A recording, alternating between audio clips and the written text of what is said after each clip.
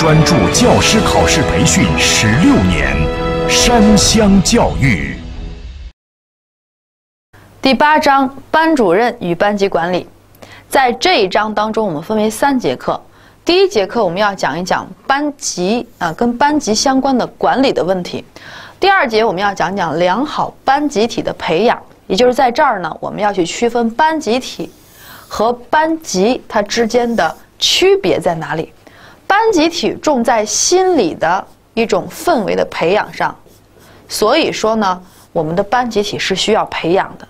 这节课当中比较重要的就是班集体的形成与培养这个题目。最后一节课是比较重要的一节课啊，班主任工作概述。因为我们要知道，我们到学校当中去之后呢，你不仅仅是一个教师，好多情况下你有很多机会去当班主任。而当班主任要去知道的，你具体的工作内容也好，你的工作任务也好，这都是我们需要去了解的东西。好，现在我们来学习第一节班级与班级管理。那么这节课里边呢，考试的时候涉及到的大题并不算多，一般来说呢，都是以小的理论知识来考察大家。那么首先我们来看，我们会学到关于班级的概念、班级组织它的发展的历史以及班级的功能是什么。那么这块内容呢，以概念为重点。再来看班级管理，班级管理这个当中，我们要去了解什么是班级管理。功能和目的以及它的内容，还有它的模式，在这儿这个模式呢，相对来说是个重点。也就是说，在考试当中，往往会考到我们通常会使用哪些班级管理的模式呢？同学们应该把它把握住。存在的问题以及解决的策略，我们可以把它作为一个二级的简答题来进行记忆。最后，我们还会给大家介绍到学校组织的管理。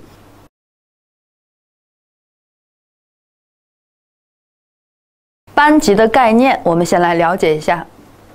班级是学校为实现一定的教育目的，将年龄和知识程度相近的学生编班分级而形成的，有固定的人数这样的一个基本的教育单位。基本的教育单位啊，好，再来看一句话，说班级是学校行政体系当中最基层的正式组织。注意了，在概念的这两段话当中，我们需要去记两个基本。一个就是教育单位当中，或者说问到大家教育教学的单位当中，谁是最基本的单位呢？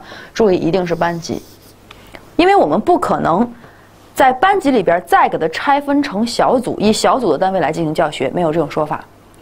我们通常都是以班级授课制的形式来展开我们的教学，一个老师面对的一定是整个班级，所以教学的最基本的组织是班级。那么第二句话说，行政体系当中最基层的正式组织，也就是说，在学校的管理体系当中，谁是最基层的组织呢？同样是班级，这是两个单选题。接着我们再来看，谁最早提出“班级”这个词？这是文艺复兴时期出现的一个人物，叫埃拉斯莫斯。那么再来看班级的特点呢？有学习性、不成熟性、教育性以及社会性。这几个特点，同学们只需要在多选题当中选出来即可，出题频率不算高。好，我们现在再来看班级组织的发展。我们在这块内容里边，同学们会发现，它与我们之前学到过的班级授课制它的发展历史非常的一致。所以说，在这儿我们只是对它进行一个复习式的学习啊。首先，先来看。夸美纽斯在《大教学论》这本书当中，他奠定了班级组织的理论基础。那么，我们对应着去想，班级授课制奠定理论基础的，其实同样是夸美纽斯的《大教学论》。好，再来看科尔巴特，他进一步设计和实施了班级教学。而在班级授课制那个位置，我们当时讲到那个知识点的时候，也是在讲赫尔巴特呢，他对班级授课制有了什么样的贡献呢？就是他发展了班级授课制当中关于四阶段教学法的这样的一个呃内容。好，再来看英国导生制。英国曾经出现过著名的导生制，也叫做贝尔兰卡斯特制，它推动了班级组织的发展。接着我们再来看我们国家采用班级授课制最早是在什么时候呢？还是在一八六二年的京师同文馆。而二十世纪初废科举兴学校之后。那么班级组织呢，就开始在全国推广并且普及，啊，基本上和班级授课制那个呃考点的内容是相一致的。好，我们再来看班级的功能。班级的功能其实就是说，班级能用来干什么呢？一般来说，它有两大块功能，把它分为社会化功能和个体化功能。这个社会化功能啊，其实也就是说，将我们的个体进行社会化的这个过程当中，班级能够给出一定的力量。我们来了解一下就行了啊。社会化功能里边包括，你看，首先第一个，传递社会的价值观，指导生活目标。第二个呢，传授科学文化知识，形成社会生活的基本技能，教导社会生活的规范，训练社会的行为方式，最后提供角色学习条件，培养社会角色。其实这个班级，它的好处在这里的应用，其实啊，也就是说，我们把学生每一个的个体放在了一个集体当中，他就更容易去学会如何去做一个社会人。好，再来看相对应的班级的个体化功能。有四个功能，其实考试的时候呢，个体化功能出现的可能性要比社会化功能要多一些。那么在这里，我们重点去记这样四个：它有诊断的功能，它有矫正的功能，它还可以满足学生的需求。什么样的需求呢？其实就是发展的需求，能够从多选题当中把它选出来就行。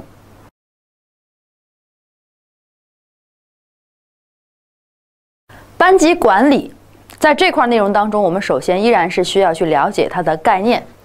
班级管理呢是班主任和教师，这是主语，根据一定的目的和要求，采用一定的手段和措施，带领谁呢？带领全班学生，对班级中的各种资源进行计划、组织、协调、控制。那么也就是说，我们要清楚谁来进行管理啊？是不是只有老师？很显然不是的，还有我们的学生。老师跟学生一同参与进来，这是我们现在的班级管理的理念当中所强调的。其中这个计划、组织、协调、控制，事实上就是我们进行班级管理的一种手段。而我们的整个的班级管理是为了干什么呀？实现教育目标。所以，我们说啊，我们的班级管理，等一下我们就会学习到它的根本目的以及它的手段，分别其实已经体现在了我们这个概念当中。好，现在我们就来看。它的功能和目的分别是什么？班级管理的功能，也就是班级管理能用来干什么呢？三个方面。首先，第一个，班级管理的功能是有助于维持班级的秩序，形成良好的班风。我们说这个呢是班级管理的基本功能。那么它的主要功能是有助于实现教学目标，提高学生的学习效率。最后是它的最终目的，就是有助于去锻炼学生的能力。能够让他们学会自治自理，在这儿这三个啊，考试的时候前两个是有可能会出现的，也就是说我们要区分一下主要功能和基本功能，它不一样。主要功能我们看一看，其实我们就这样去记：学生到学校里边来进行各种各样的活动也好，参与教学也好，班级管理也好，通通是为了干什么呢？还是因为我们要让学生去学文化，还是要为了促进。他的学习成绩的提高，所以说啊，提高学习效率依然是我们班级管理的主要的一个功能。但是你想让学生学习好，首先就得有一个好的氛围，有一个好的秩序才可以。因此呢，良好的秩序的建设，这是班级管理的基本功能。接着我们来看班级管理的目的，根本目的，我们看怎么去表述，是为了实现教育目的，使学生得到充分的、全面的发展。其实同学们留意一下，就会发现这句话在我们教育学的内容当中，我们会发现它出现的次数啊特别特别的多。每当我们提到根本目的的时候，似乎永远都是这样一句话。那么同学们就知道了，只要是我们教育教学活动展开的根本目的，提到根本目的的时候，不管是什么活动啊，课外校外的活动也好，教学活动也好，班级管理也好，只要是学校当中发生的。一定都只有一个，那就是实现我们国家的教育目的，因为我们国家的教育目的，它是我们所有的教育活动的一个总的指导方向。好，再来看班级管理的主要手段，这是刚才在概念当中我们提到的四个词：计划、组织、协调、控制。作为多选题，希望同学们能够记忆。再来看班级管理的内容。所谓内容，就是我们要管什么，你管哪些方面呢？首先来看第一个是组织的建设，这个组织啊就是人，就是班干部啊，班级管理的体系是怎样的？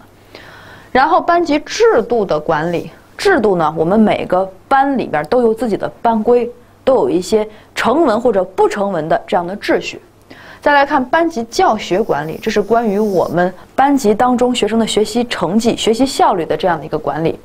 那么在教学管理当中，对于教学的目标、秩序，还有整个的呃教学方面的指挥系统，这都是我们需要去关注的内容。而教学的质量管理呢，则是班级教学管理的一个核心。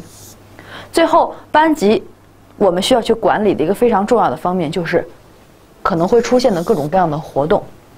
在这儿啊，出多选题，同学们能够把它再认出来，一般来说都已经足够了。但是我们现在再来看班级管理的模式，这个模式啊，它指的是怎么管，用什么样的方式来管。这个考点的考察就比内容的考察的频率要高了，同学们要好好听。在这儿啊，我们去给同学们介绍四个模式。常规管理就是用规章制度来管。平行管理就是用集体与个别之间的这种差异来管，民主管理就是用民主的这样一种氛围来管，而目标管理呢，我们会提到著名的德鲁克，也就是全世界著名的管理大师，他提出的一一套这样的管理体系。好，现在我们分开来看，班级常规管理这个常规，一旦看到这个规，也就是说呢，你看规章制度，啊。以及比如说吧，呃，我们还能看到的，比如说学生守则，呃，操行评定，我们需要去根据学生守则来进行。还比如我们班级内部经常会制定一些自己班级的呃一些秩序，这都是属于班级常规管理的一个部分。而平行管理呢，看到平行这个词，我们一定要想到这个人马卡连科。马卡连科在德育那个章节里边，我们曾经提到过他，他最著名的。就是关于集体教育的啊，集体主义教育的这个部分的一些看法。他认为，我们首先就应该用集体的力量去影响一个个体，反过来才可以谈到个体来影响集体。所以说，但凡看到集体教育的这种力量的时候，我们就要去想到平行管理。而班级的民主管理指的是什么呢？但凡提到民主啊，这个民主，什么是民主啊？民主就是让本来没有权利的人开始有权利，其实也就是强调全员参与的问题，让学生能够参与其中，这是民主管理。比如说，当我们看到，比如说这个班级他会实行班干部轮换制度，不是说你永远都是班长，你当一个月的班长，下个月换一个同学来当班长，这就是一种民主的制度。最后，班级的目标管理。我们要提到德鲁克，同学们一定要把这个人记住，啊，美国著名的管理学家德鲁克。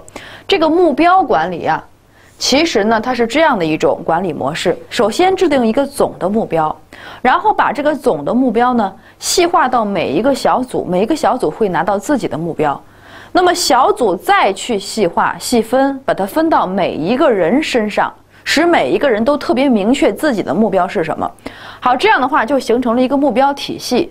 所有的人只要完成了自己那一个小部分的目标，事实上都到最后呢，我们的总目标就能够得到完成。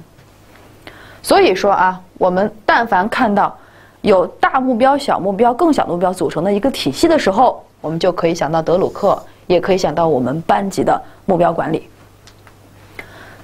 再来看一个问题：班级管理当中存在的问题及其解决策略。也就是说，我们呃近现代或者说呃这些年来，我们能够看到在我们的教育实践当中，我们国家常见到的一些问题是什么？那么我们来看啊，其实就是两句话，什么呢？第一句话就是，班主任对班级管理方式怎么样呢？太专断，太专断就是。我说什么就是什么，不许有人来反抗，不许有人来提出不同的意见，这就叫专断。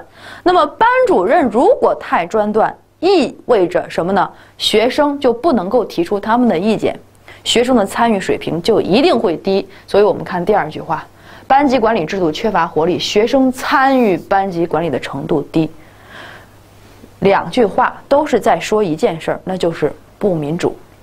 那么怎么办呢？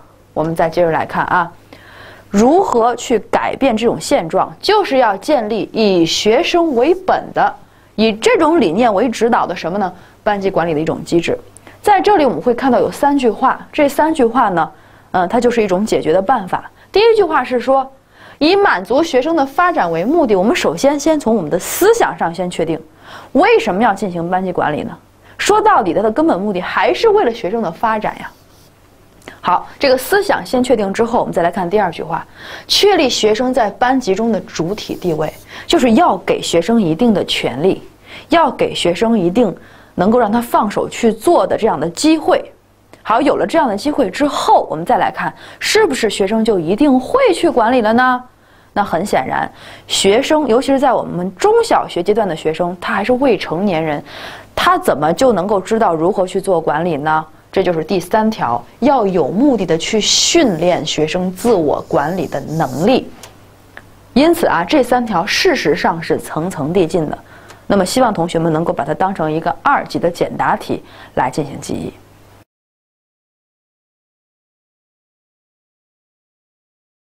学校组织的管理，在这部分内容呢，我们只需要去把握两个考点，基本上在考试的时候呢，也就涉及到这个部分啊。我们来看一看，首先第一个考点就是什么是学校管理的基本途径？这个问题是可以出现在单选题当中的。那么学校管理的途径啊，应该有很多种，其中沟通是一个最基本的途径。那我们来看一看，沟通对于学校管理来说有几个方面的功能，它可以起到信息传递的作用。